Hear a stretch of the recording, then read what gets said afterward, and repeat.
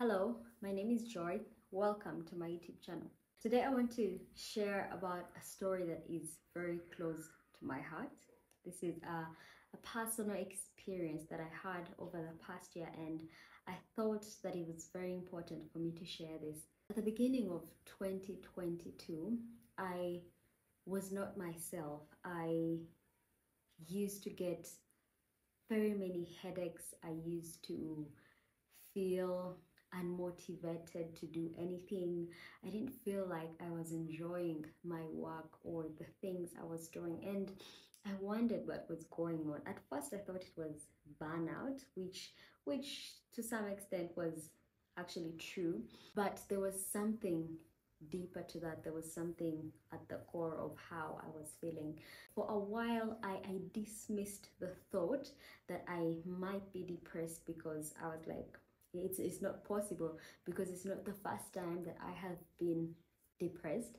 I have I used to experience these depressive seasons and most of the time, all the time, I would pull myself out of those situations because I'm the kind of person who is used to having people come to me for for guidance, for for consolation, for, for a good word that will lift up their, their heart and make them feel better. Through school and growing up, I, I was the person that people came to when they were at their low moments. So I found myself in situations where if I was going through something, I had no one to share with. So I had to learn to get myself out of sad situations or out of any depression in case it ever occurred. What happened to me last year is nothing like I have ever experienced. It was really the worst thing that happened to me. I started feeling this way towards the end of 2022 and even when I started 2023 I was feeling so bad. I was down, I was having panic attacks and constant headaches and I didn't really know what was wrong with me. There was a time, I remember one time I went to, to the hospital. I had a very, very high fever. I could not do anything. I actually struggled to walk into the hospital when I went to do a checkup. I went to the hospital. I tested for, for common diseases, malaria, typhoid, infections, but none of that was actually in my system the results were telling me I was okay, but I was not okay, and even the doctors could see it. One of the nurses gave me this magic pill that would reduce the temperature, and it actually didn't work. For about an extra two hours, the temperature did not change. It was after that hospital experience when I went back home and started asking myself, what is wrong with me? Why can't I do anything? Why don't I even have energy to walk myself in and out of the hospital? After I fell sick, I remember I, I went to my Instagram and to my Twitter and I made an announcement. I, I told my audience that I was going to take a break and I was going to be off social media for a while. At that time, I was still not sure what was going on with me. I thought maybe now that I'm not feeling very well, I'm not going to be able to put out any more content. I it's best that I tell people I need some time off to regain my my energy and get back into the vibe. I put an announcement and I said I was going to be away for two weeks. Little did I know that two weeks would turn into a month and a month would turn into months and almost a year after I made the announcement that I was going off social media, I that is when I started that is when I actually had to stop lying to myself and really find out what was wrong with me.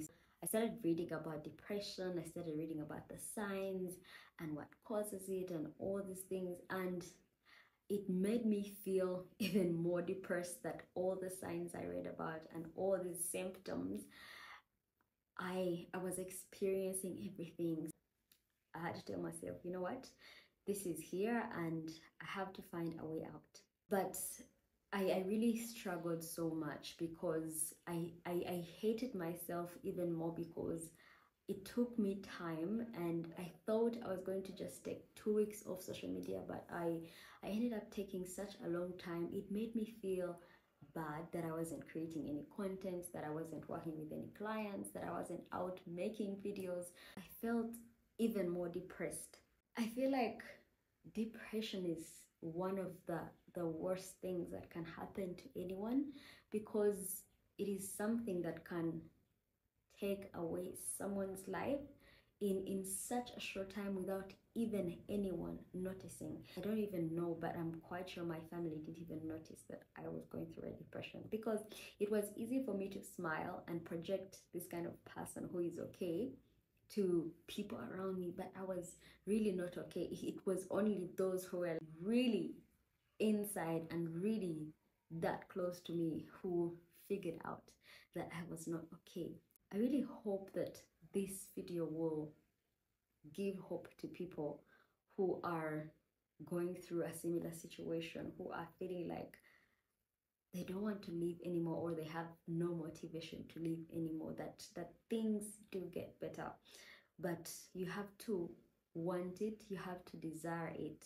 I know there will be a time when you do not want you when you when you don't have the will when you can't cause yourself to want to leave there was a time when I was before I before I left social media, I was scrolling through Twitter and someone had posted a photo of, of this beautiful family. At, at the first at the first glance, when you look at this photo, you see a beautiful family. I think they were at a beach and a couple with their children and everything was good until I read the, the caption that was attached to it and they were saying that the dad or the husband of this family had had committed suicide and it was found out that he had been going through a depression for a couple of months and people were saying in the comments that no one ever imagined that he was going through something because he always looked happy he always looked like the most lively person around when i when i saw that photo i started asking myself i started wondering am I going to end up the same way? Is is no one going to notice that I am struggling and and get the help I needed? It made me feel sad to imagine that my life could end up in the same way. But I thank God that I did not end up like that. It's a silent killer. And I feel like depression is not just depression, it's not just a mental issue, it's not just a, psychological issue it's not just an emotional issue i feel like it is a, a dangerous spirit an evil attack from the pits of hell itself. It's it's it's what the enemy is using to enslave so many young people so many people in the world who are going through things that they cannot explain. And the worst thing about depression is that you feel like you cannot share with even the closest people around you because you feel like they will not get it. Somehow, this feeling convinces you that I am the only one who understands what I'm going through, no matter how much I share or whoever I tell. I don't think they will understand me. It, it takes love and it takes a lot of work to be able to get out of this. I'm going to share how I actually overcame this situation and I hope that this encourages you and motivates you.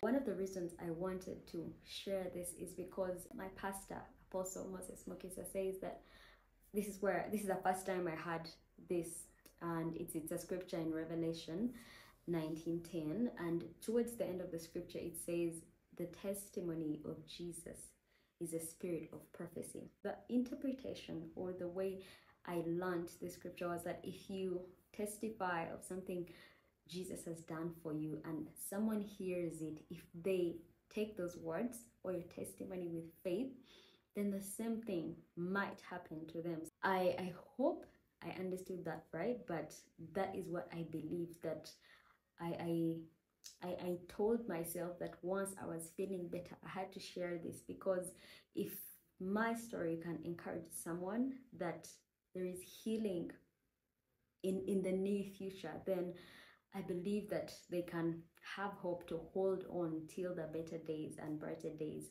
have come when when i was going through the motions and uh, i was having panic attacks i was i used to think panic attacks were not for africans I, I used to think it was a thing for white people but when it happened to me and I could not control my breathing, I felt my chest very heavy. I felt like my heart was going out of its place.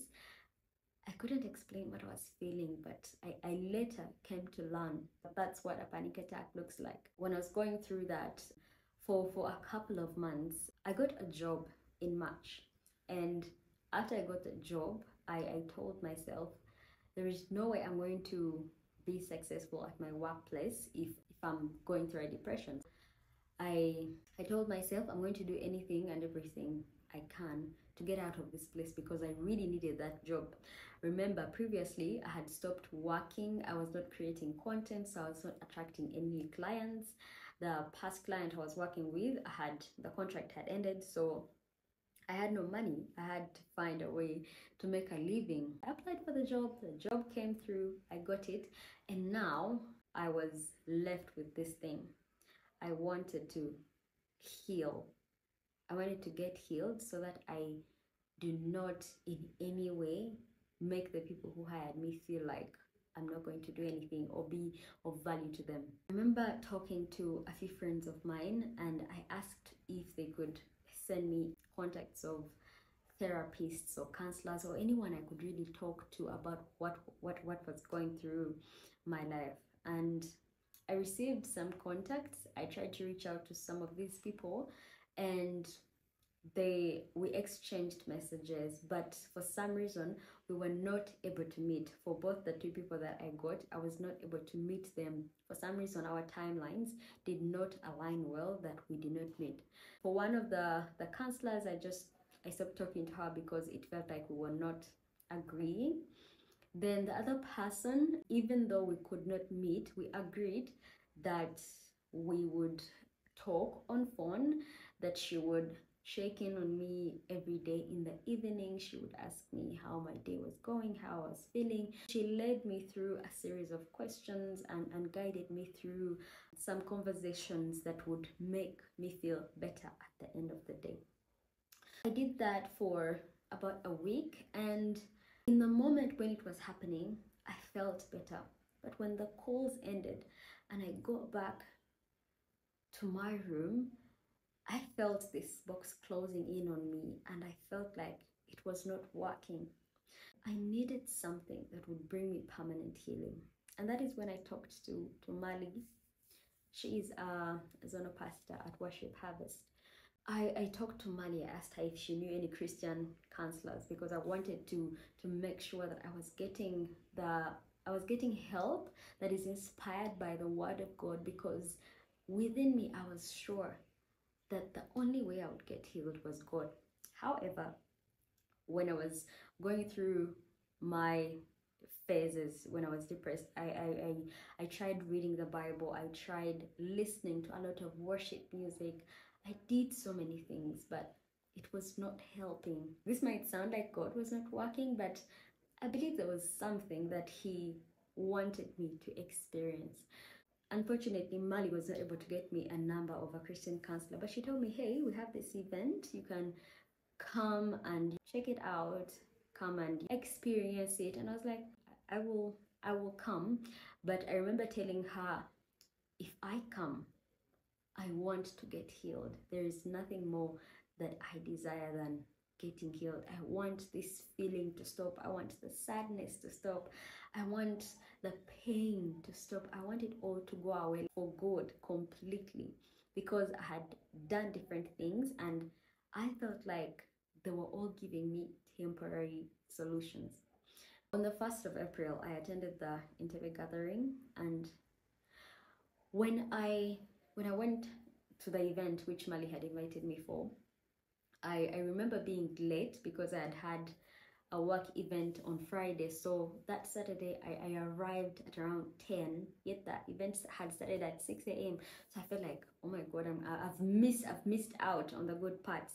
But surprisingly, it's, it's, it's amazing that God had really set me up so well for what he wanted to do for me because when when I entered the doors of, of, of that church in Entebbe, Apostle Moses was, was was he was doing an altar call.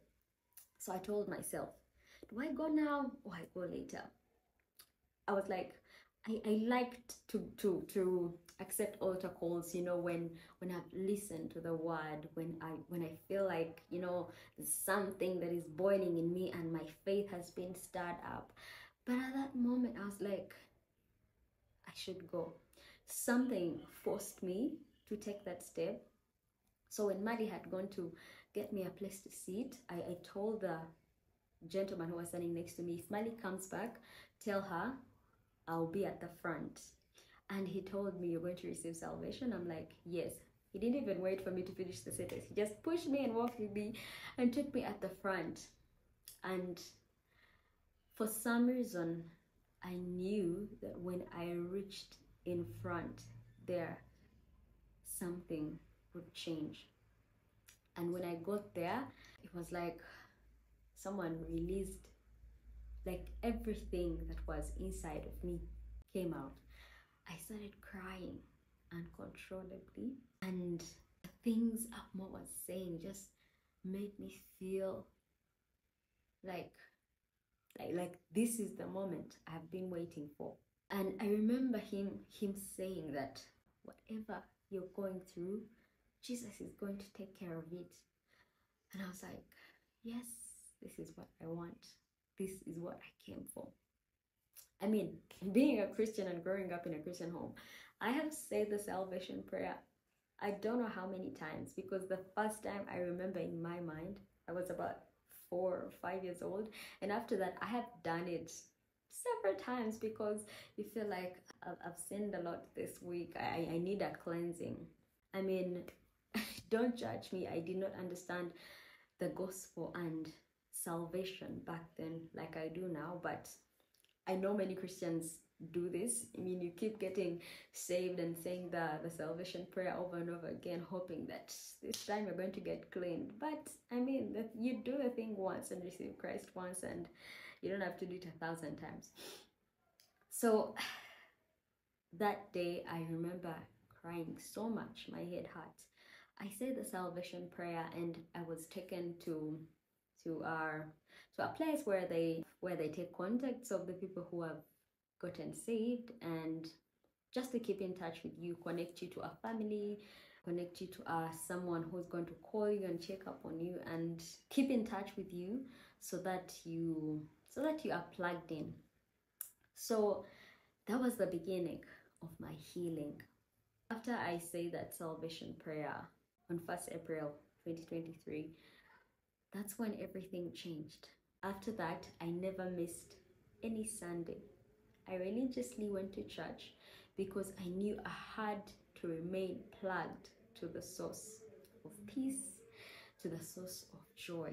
So I made sure that I was in church every Sunday. What I can say is that it's not only the salvation prayer that saved my life, but, when God wants to do something, he, he will put you in places and situations where you cannot escape from it. I know this has been a long video, but the truth about how I got healed from my depression is Jesus. Bringing Jesus into my life and reading scripture from a point of understanding that God loves me and He wants me to be okay helps me to come to the understanding of my real identity.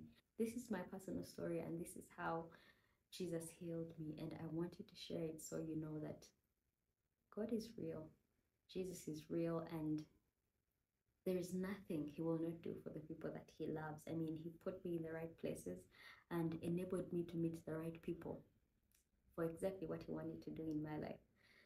And I'm so glad that I get to serve Him every day of my life. So, I really hope that this video encouraged you. I hope that you feel you feel heard, you feel understood, and that you know that tomorrow will be a better day.